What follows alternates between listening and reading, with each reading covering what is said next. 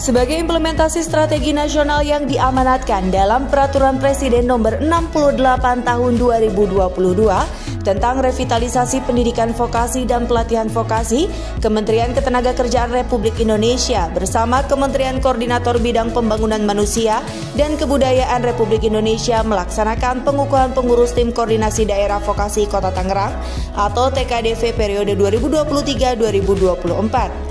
Pengukuhan dilaksanakan di Hotel Novotel Kota Tangerang Selasa 5 Desember 2023. Pembentukan TKDV di Kota Tangerang sangat penting. Hal tersebut dikarenakan potensi Kota Tangerang yang berada di kawasan industri dan kebutuhan pekerjanya sangat tinggi. Hari ini acara pengukuhan tim koordinasi daerah pendidikan vokasi dan pelatihan vokasi yang sebelumnya telah dilakukan sosialisasi pentingnya pemahaman pentingnya pembentukan tim koordinasi daerah vokasi khususnya di kota Tangerang. Harapannya kota Tangerang ini memang menjadi target pembentukan TKDV karena kota Tangerang ini potensial sekali di kawasan industri, kemudian kebutuhan tenaga kerjanya tentu juga eh, banyak sekali kota Tangerang.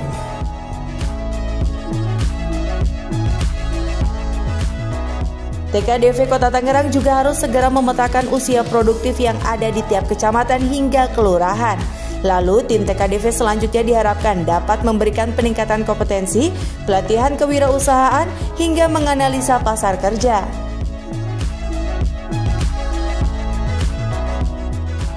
KDP ini implementasi dari amanat Perpres 68 tahun 2022 yang mengamanatkan bagaimana kolaborasi pendidikan maupun pelatihan vokasi ini terjalin di kabupaten maupun kota.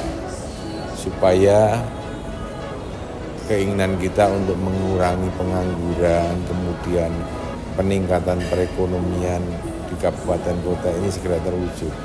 Maka perlu dibentuk tim koordinasi pelatihan dan pendidikan vokasi.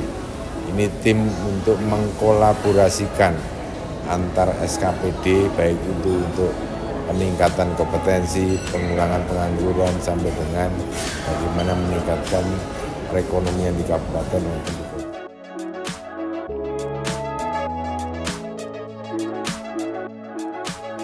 Sekretaris Daerah Kota Tangerang sekaligus sebagai Ketua TKDV Kota Tangerang Herman Suarman mengatakan bahwa berbagai percepatan peningkatan mutu pendidikan dan tenaga kerja yang profesional dengan keterampilan dan keahlian yang tinggi akan dilakukan.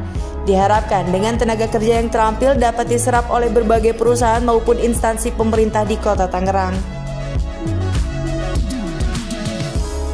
Ke depannya dengan adanya tim koordinasi daerah vokasi ini menjadikan masyarakat Kota Tangerang lebih terampil, memiliki skill dan keahlian yang cukup mumpuni sehingga bisa diserap menjadi tenaga-tenaga kerja di perusahaan-perusahaan maupun juga di instansi pemerintah yang ada di wilayah Kota Tangerang. Nah, persiapannya barangkali mengkoordinasikan dengan berbagai stakeholder termasuk juga dari uh, kalangan uh, pendidikan, dan juga dengan adanya pelatihan-pelatihan keterampilan uh, yang ada sehingga uh, apa skill dan kemampuan uh, masyarakat yang ada di Kota Tangerang ini bisa memenuhi kebutuhan yang diperlukan.